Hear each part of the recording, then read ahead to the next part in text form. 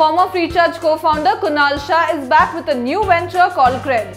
The entrepreneur this time wants to celebrate trustworthy individuals by rewarding credit card holders who pay their bills on time.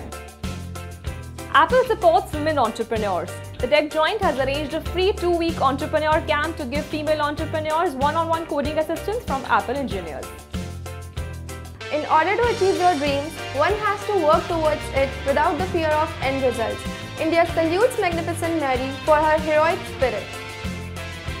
YouTube has a new plan to take on Netflix. The video sharing platform is looking to make all original programming videos available to users for free but with ads.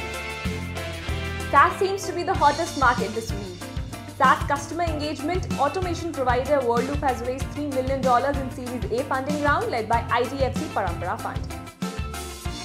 Sachin Bansal is back in the game. The Flipkart founder plans to make investments in fintech and agri-tech with his new partner Ankit Agarwal.